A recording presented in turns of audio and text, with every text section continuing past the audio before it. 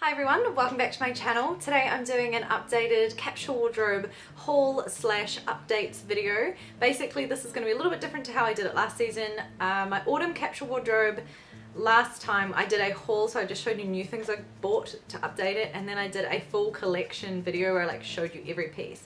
What I'm going to do today is basically just show you the pieces I took out of my autumn capsule and the things I put into it to convert it into a winter capsule. Because my uh, like clothing between autumn and winter hasn't changed drastically. I've just sort of put a few new things in and taken a few things out. So that's how I'm going to do this video. I hope you enjoy it. First of all, if you haven't seen my autumn capsule wardrobe and you're very interested in watching it, I'll have that in the description so you can get an idea of what I was wearing for the last three months. And now that it's officially June, I want to first talk about the items that I decided to take out of my capsule, either for um, reasons like they don't really match the weather anymore. I had quite a few summery pieces still in my autumn capsule, just because uh, in Melbourne it's really, really hot um, until about sort of end of April. So the first part of the season is quite warm and still quite summery. And then you really start to get the cooler weather sort of end of April. And then by May, like end of May, it was freezing. So you had to have like proper warm clothes as well. So it was a real mixed bag for autumn. Um, so basically the things I've removed have been pieces that were just too warm weather orientated um, but I also took out um, a couple of things that just don't layer that well so I'll explain that in a second. So firstly the first item I took out was this Cherry Shop cami. Now this is just a little basic, it's like their basic zip cami that they have all the time. Love this piece but it's just way too summery and I it's not something that layers that well underneath sweaters. Like I do wear camis in winter but I just like more plain ones that don't aren't so sort of bulky because this one's quite like floaty um, so I took that one out um, I also took out my seed t-shirts uh, I took out the stripy one and the grey one and the reason is the short sleeve is just a little bit um, too sort of summery um, and warm weather orientated and especially the stripes stripes I really think of as summer like French Parisian kind of styling so that one didn't really fit with my winter aesthetic, so I decided to put that away. When I say I take them out, it doesn't mean I'm getting rid of the items. Most pretty much all the items actually I just stored away. They're all in good condition still, so I just folded them up, put them away. I also decided to pack away my two white blouses, mainly just again, it's a color thing. I don't really feel like white in the middle of winter it's just not a color I tend to grab in my wardrobe so I just decided to put them away and that way when I pull them out again in spring they're kind of like special again because I've worn them for three months. So that's this first one here that you can see that's from Forever New. I put that one away but I still have the navy and black one of those in my collection and I also got rid of this ASOS one with the cutout shoulders. This one especially is very very springy summery because of the cutouts uh, but yeah I'm looking forward to wearing that again in a few months. Now this next item that I decided to pack away was a little bit hard because I was really loving this. This was my favorite piece from autumn. It's the seed swing kind of sweater. And the reason I decided to pack it away is it's the three quarter sleeves and it's quite a bulky sort of fabric and it didn't layer well underneath jackets and coats. And in winter it's cold enough you need to be wearing a jacket or a coat at all times outside. So I decided to pack it away because I tend to wear it more as like an outerwear piece but I'll probably bring it out again in spring, which will be exciting because I'll look forward to wearing it again.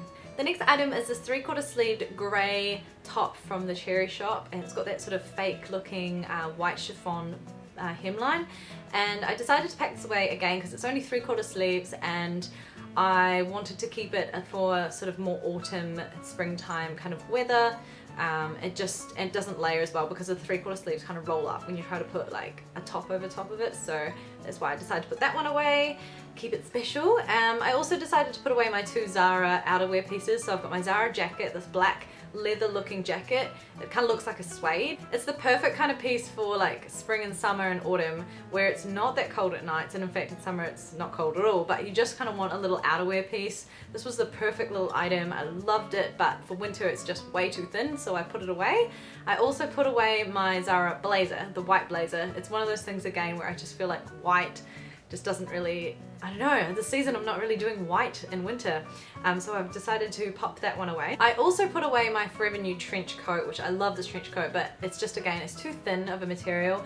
The jackets and coats that I left with, I only kept three in my collection um, this season, and they're all quite heavier or made of a material that's gonna actually keep you warm.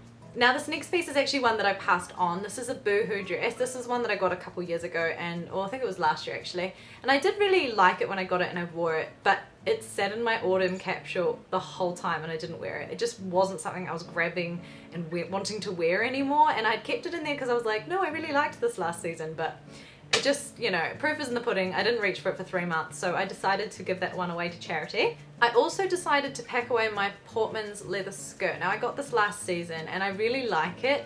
However, I didn't wear it very often to like day to day because I felt a little bit like sexy in it for school and like for going off to uni and stuff. I just, it didn't really feel like an everyday piece. So what I've actually done is just moved it into my special occasion wear. If I'm going to a party or something or out for dinner, like I might put it on because I like wearing it. It's just way too sexy for daytime. Learned my lesson leather skirts aren't good for me for day-to-day -day wear but that's fine. It was um, I'm still pleased I bought it because I can use it for special occasion wear. I also packed away these little ruby shorts and I love these shorts but I just want to keep them a bit more special for autumn um, because they're quite obviously really really short um, and I think they look cute with like a little sweater on top but with a coat it kind of looks like you're not wearing any pants. Like if you wear tights and these shorts and then put a coat over top because they're so short it literally looks like you're wearing walking around with just stockings on. so I feel a bit uncomfortable in that, so I decided to pack them away. Keep those for autumn. And finally, I packed away my Dotti jumpsuit. This pretty much lives in my wardrobe like year round apart from winter because it is just such a staple piece. I don't know, I don't know what I'm gonna do when it breaks. I haven't seen anything else like it and it is a cheap item. It's just from Dotti, but love it so much. But I decided to put away because it just wasn't uh, appropriate for this time of year. It's way too thin of a material gets quite cold. So that's basically all the items I took out. I actually took out 12 items out of my capsule and I probably had somewhere between 35 to 40 items in my capsule. It was quite a large capsule for autumn, but that was because the season is very like fickle like sometimes it's hot it can get to 30 degrees and then other times it can be like 17 so that's why I had such a mixture. Because I packed away quite a few of my outerwear pieces I was left with my navy wool coat which is just I love that coat. That's just my favorite all-time plain like classic coat and then I also kept my Portman's grey leather jacket in my capsule because that's like a really warm material leather really like keeps the heat in well um, but I added in and pulled this jacket back out from my collection this is one I've had for a few years but I pulled it back out of storage and it's my leopard print coat which is exciting as you can see I'm wearing leopard as well so I'm kind of having a thing for leopard it's a bit trashy, but I love it. It's a swing style coat from Forever New. It's very warm because it's a faux fur. Um, even though it is faux, it some reason keeps me warm. Like I wouldn't really wear real fur, so that's why this one's faux. And I love the swing style. I just think it's so cool. You can just throw it over and it's kind of loose and casual, but kind of, it almost reminds me like a mod kind of look. Like I went, went to a 1960s party one time and I wore it and it just really suited the kind of mod styling. But yeah, love that coat so much that had to come back out of storage this is definitely only one I tend to wear in the middle of winter because it is such a heavy coat being fur. The next piece I picked up to include, uh, I wanted a couple of warm sweaters that were made of wool and I specifically needed them to have a decent percentage of wool in them. The first one is actually what I'm wearing here. It's this leopard print jumper and this is from Seed. I'm going to warn you actually in advance, pretty much all the new things I bought are from Seed and I'm really not sorry because Seed is my favorite store. But this leopard print jumper is so cute and I loved that it just added quite a different color to my palette because my wardrobe is just black, grey and navy and so I needed some other color besides those and this sort of beigey animal print was kind of something a bit fun but still quite neutral. So this one uh, has a, I think it's like half wool, like it's not a full wool sweater, um, but it is still really warm and I like wearing it for that reason. Then I also picked up this from Seed. This is a grey sweater with an asymmetric hem and this is so warm. Like my mama was always right. She used to try and make me wear wool and I'd be like, nah, it's fine. Acrylic's good. Like, no, once you have wool, like, oh my gosh everything else feels so cold. And especially 100% merino. Merino wool is like the best wool for keeping you warm and it's so nice to have. And this is also extremely thin. I wanted um, sweaters like the, these two sweaters are very very lightweight and thin and so they fit under my coats perfectly. Um, so that was what I went out with the intention to get and I found them both at Seed. Now because I put away my white blouses, I needed one more blouse to kind of complete my little blouse collection because I like wearing blouses to work on Sundays at my shoe shop because it's too hot actually in the shop to wear a sweater so I tend to wear my sweaters and stuff midweek and my t-shirts and then on the weekends I wear blouses, so a bit dressier as well. So I picked this one up from Seed as well. This is a little polka dot number and I love this. It's got the most beautiful detailing on the shoulders. It's kind of like reinforced with an extra bit of like material Um, it just gives it a really beautiful shape and it hangs beautifully. Um, yeah, it's just a really well made, well like sort of floaty blouse and I love the fact that it was navy but with polka dots because it's such a classic print but it's in a colour that like you know resonates with me. Now because I packed away a lot of my, I packed away all of my t-shirts except for my navy short sleeved swings t-shirt which I still tend to wear at work so that's why I kept that one out because it's a bit dressier. I actually found the same t-shirt at Seed but black and it's long sleeved which is super exciting. It's a lot more winter appropriate with this long sleeve so this is a good one to wear to uni. I feel so many burps, I just ate lunch.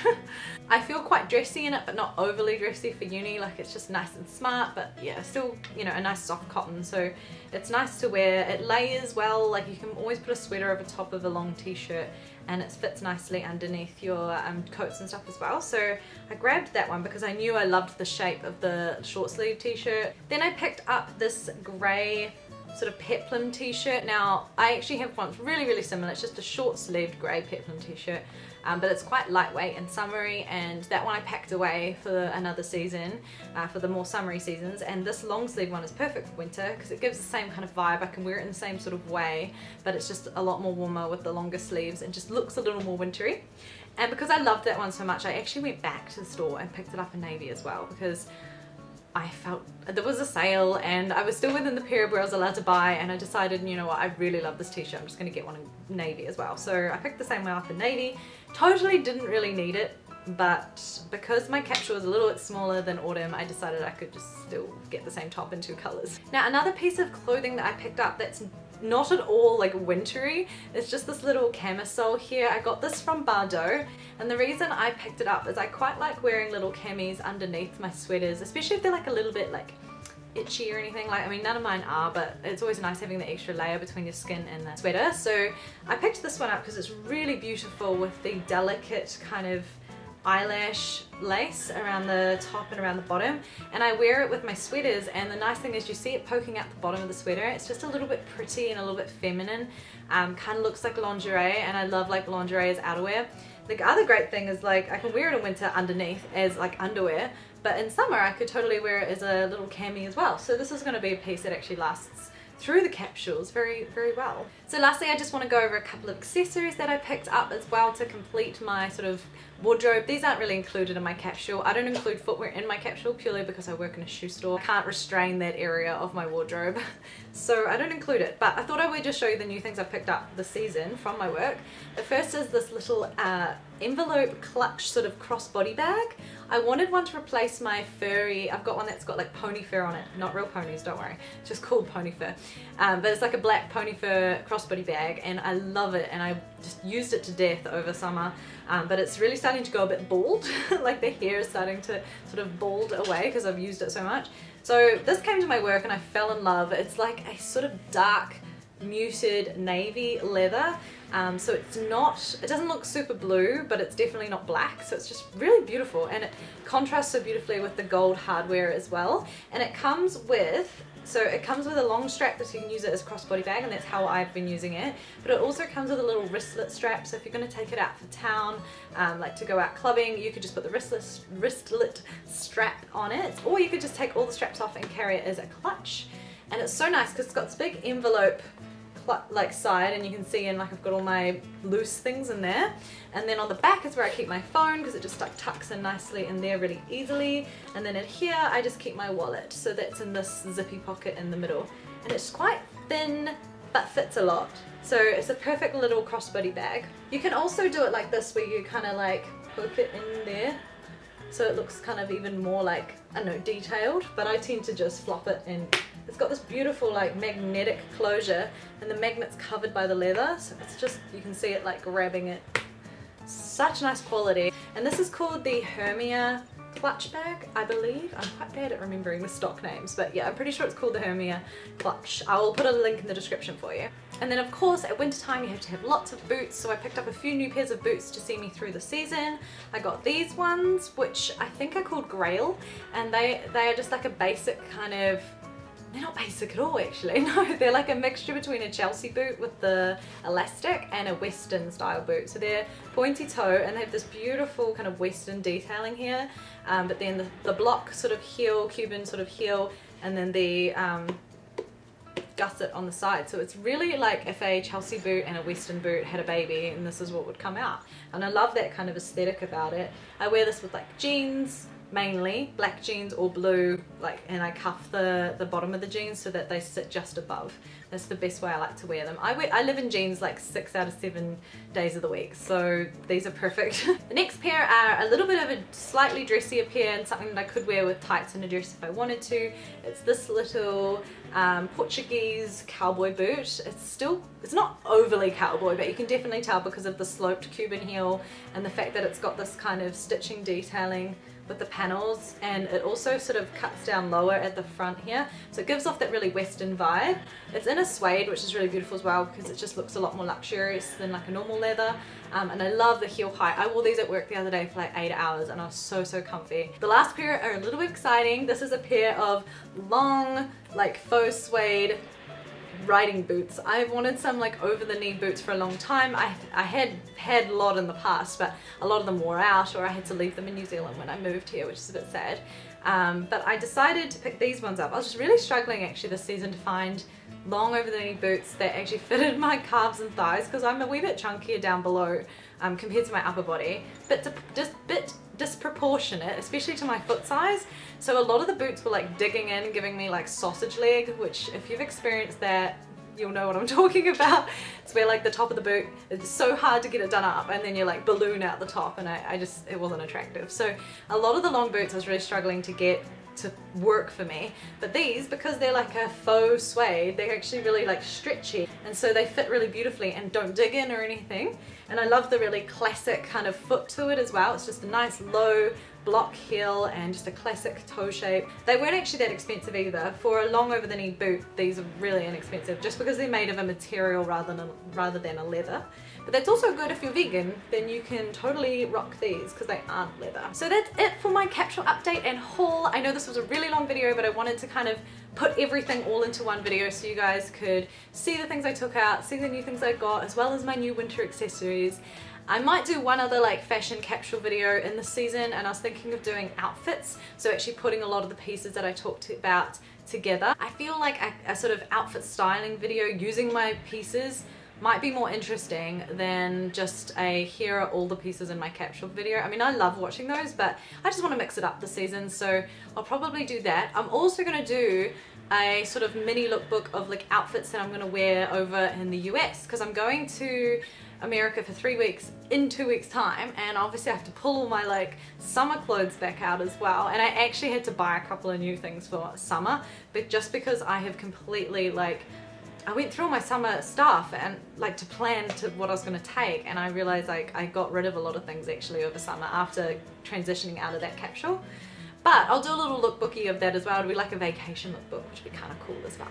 So I hope you guys enjoyed today's video. Don't forget to subscribe if you are new. I make up to seven videos a month and I would love to see you around here on my little YouTube family. If you're interested, I have all my social media links linked in the description below as well. If you missed my last video or like two videos ago where I talked about my new Instagram account as well, it's Arna's Army and it's basically a place where I can like repost you guys like the works that you've done or if you've recreated a tutorial of mine. It's just a really cool space that I can like celebrate you guys, my followers and my little family. And so you can find me on there, you can just use the hashtag Arna's Army and I'll be able to find your pictures and repost them. So have a wonderful few days and I'll see you in my next video. Bye!